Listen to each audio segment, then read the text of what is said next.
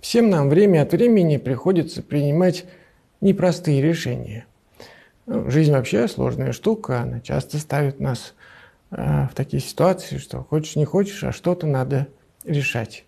И эти решения часто влекут за собой последствия, часто болезненные, э, часто кого-то ранящие. И мы вот несем после этого на себе и груз таких решений – и вот я бы хотел, что, чтобы вы, если у вас найдется на себя время, а, задались этим вопросом, что за такие серьезные решения вы принимали в жизни и как вы теперь к ним относитесь. Потому что если вы способны увидеть все последствия своего решения и принять их, то ваша жизнь обретает как бы центр тяжести.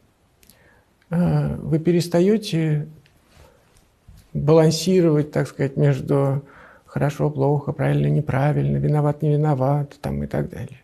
Вы обретаете центр тяжести. Вы приняли то решение в тех обстоятельствах. Оно было таким, последствия были такими. Но это ваша жизнь, и вы не можете от нее отказаться. И да, это ваш опыт, это ваше знание. Продумайте так какие-то свои решения важные в жизни.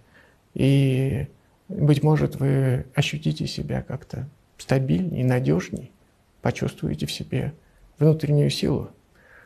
В конце концов, где нам еще брать, если не в трудных решениях, которые мы когда-то приняли?